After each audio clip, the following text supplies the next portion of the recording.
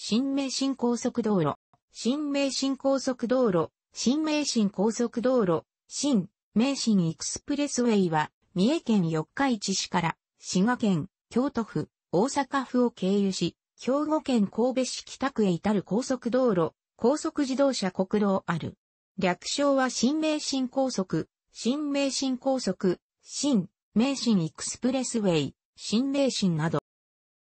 高速道路ナンバリングによる路線番号は、新東名高速道路、伊勢湾岸自動車道ともに E1A が割り振られている。新東名高速、伊勢湾岸道とともに、東名高速道路、東名、名神高速道路、名神と機能を相互に補完する役割を担う道路である。東名、名神は1966年の全線開通以降、東京、名古屋、大阪の日本三大都市を結ぶ基幹的な高速道路となった。しかし、交通量の増加により交通混雑が頻発している。ほか、自動車交通に依存している産業、経済を支える役割の道路が断絶した場合の影響は壊滅的な状況になるものであると予測されたことから、透明、名神とのダブルネットワーク、適切な交通機能の分担により、高い信頼性を確保する道路として計画されたものである。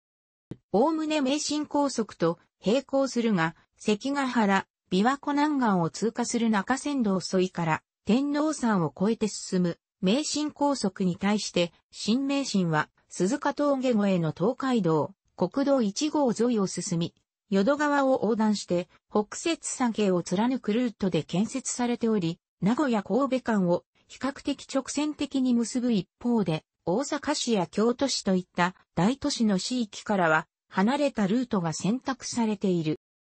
新名神の整備により、交通の流れや交通量に変化が出ている。高速自動車国道法に基づく法定路線名、正式名は名古屋、神戸間を結ぶ近畿自動車道名古屋神戸線といい、近畿自動車道名古屋神戸線のうちの四日市ジャンクション神戸 JCT 間に相当する区間を一般講習に案内する道路名、営業路線名、通称名として新名新高速道路の名称で一部共用中の高速道路である。道路名称決定までの箇所は第二名新高速道路であったが、2007年4月23日に快適性や走行性に優れた21世紀の新時代にふさわしい道路となるということから、新名新高速道路と道路名称が表された経緯がある。愛称は、第二名神自動車道建設促進協議会によって募集、決定された、清間滅場ハイウェイ。新目ちゃんというマスコットキャラクターが存在する。部分開通を迎えた際、テレビラジオ CM やリーフレットなど、宣伝広告に用いられたキャッチコピーは日本の真ん中に元気な流れ。建設にあたっては、信楽宮に関連する遺跡やうどのの吉原の付近を通過する箇所があり、前者については工事計画の変更を余儀なくされ、後者については2013年に国土交通大臣に計画の見直しをめて、約7万9千人分の署名簿が提出されるなどの事象が生じている。新名神や新東名などの中央分離帯に専用軌道を敷き、東京大阪間に物流専用の高速貨物鉄道を整備する東海道物流新幹線構想が検討されていたが、2019年、平成31年現在では新東名の御殿場 CT 浜松稲佐ジャンクション間の全線6車線化が決定しており、残りの区間についても6車線化に向けた本格的な調査が開始されたため、当構想は事実上消滅している。常用 JCT、IC 八幡京田辺ジャンクション、IC 間と高槻 JCT 神戸 JCT 間は、公費や後期削減のため従来の4車線構造で施行されており、路肩部分も下記に示す幅は確保されていない。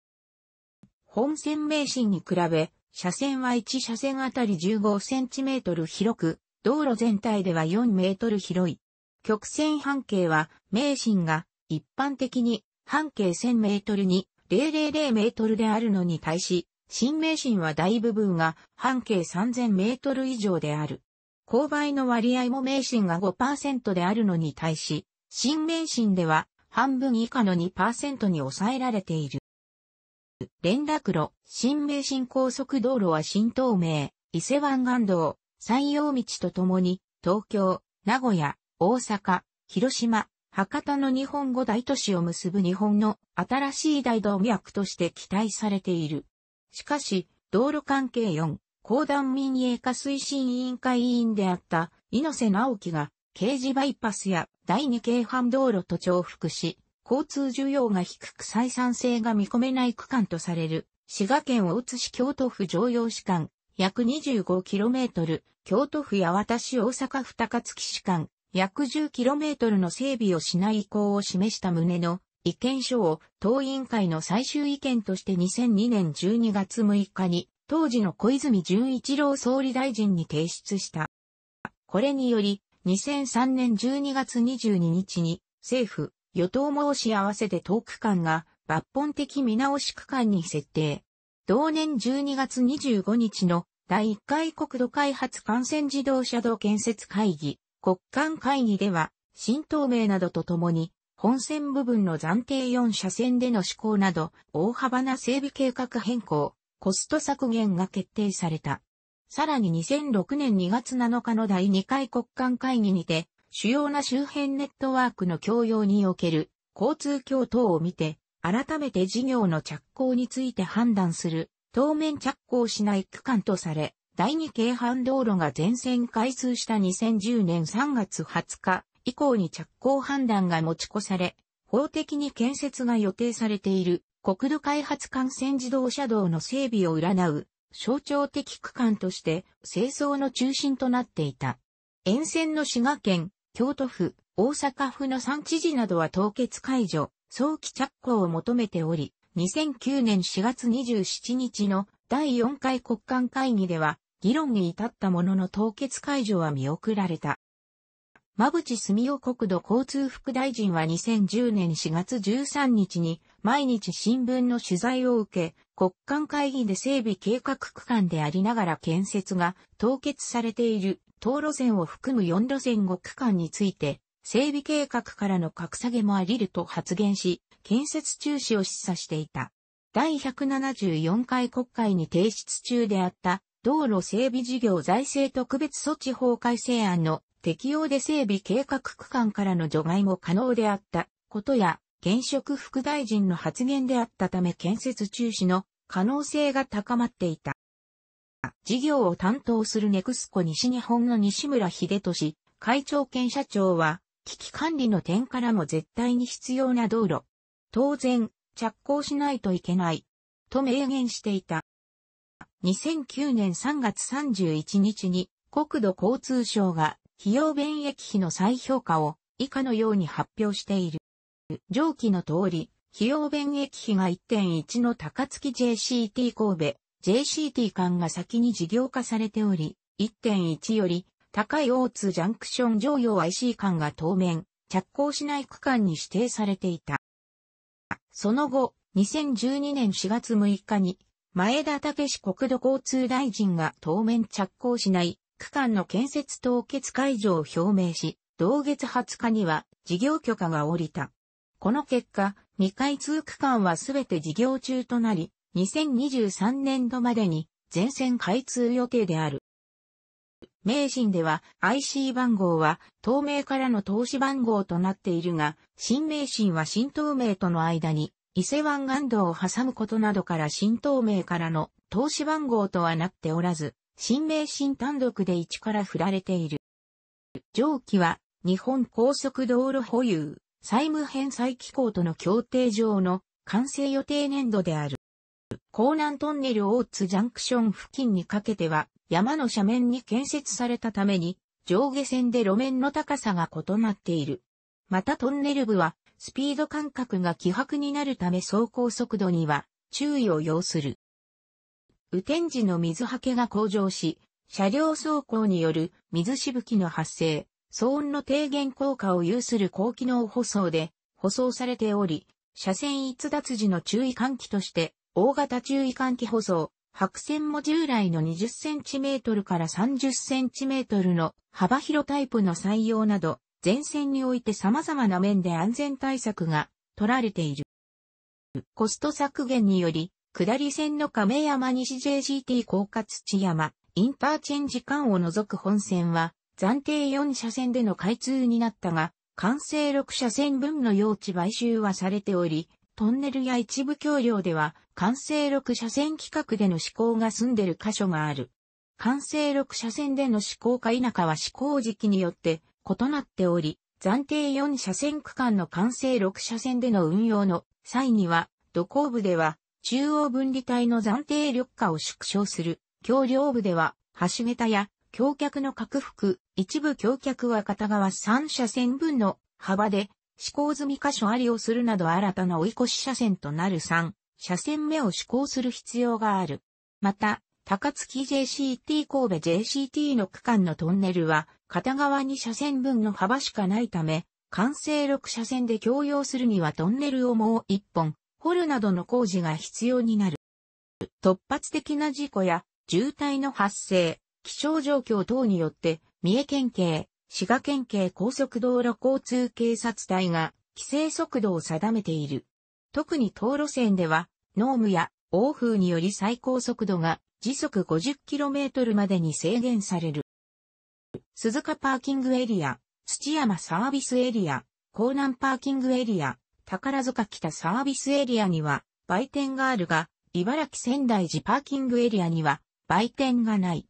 また土山 SA、宝塚北 SA は上下線集約型の特殊構造型 SA で、レストランガソリンスタンドがあり、フードコート、売店、ガソリンスタンドコンビニエンスストア、土山 SA のみ、セブンイレブンは24時間営業となっている。土山 SA、江南 PA は第3セクターが管理、運営する。鈴鹿 PA にはガソリンスタンドがないが、並行する東名阪自動車道の御在所 SA にはガソリンスタドがある。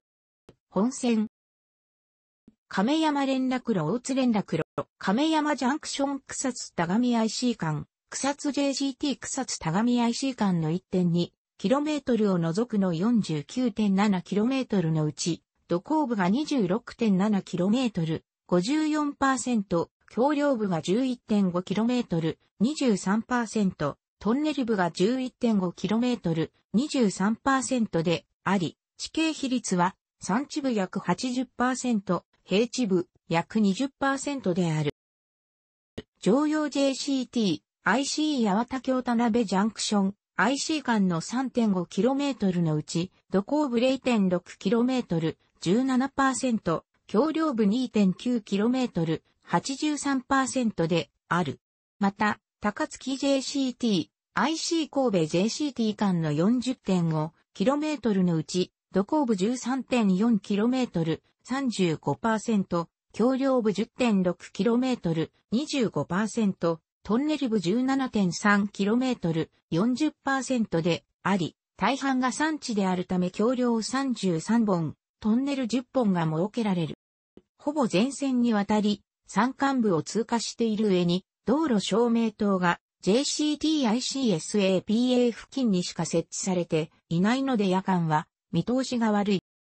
また、しがらき地区などで濃霧が発生しやすいため、一部区間の左側路肩に緑色の右側路肩にオレンジ色の自発光 LED 無対策用視線、誘導灯が10メートル間隔で近畿地方では初めて設置されている。濃霧発生時だけでなく見通しの悪い夜間にも稼働している場合がある。江南トンネル上り、甲南トンネル下りと金勝山トンネル上り、金勝山トンネル下りは、無線局を持たないトンネル内ラジオ再放送設備を介したトンネル内放送である。また、上下線別放送になっており、上り線は、上り方面のみの情報、下り線は、下り方面のみの情報提供である。 NEXCO 中日本名古屋支社と NEXCO 西日本、関西支社の管理境界となる甲賀土山、インターチェンジを境に、東側は名古屋支社の一宮管制による4点チャイムの後に、自分現在の高速道路情報をお知らせしま、で始まる携帯、西側は関西支社の形態に分けられている。24時間交通量、大道路交通センサス、本線。楽しくご覧になりましたら、購読と良いです。クリックしてください。